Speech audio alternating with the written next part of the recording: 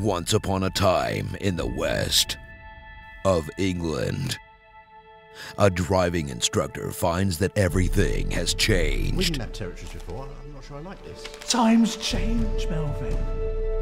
I'm head of the guild. What I say goes. We can't live like this. This isn't what being a driving instructor's all about.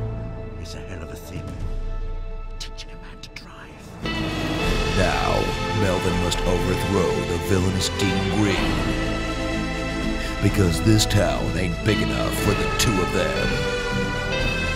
It's a hell of a thing, teaching a man to drive.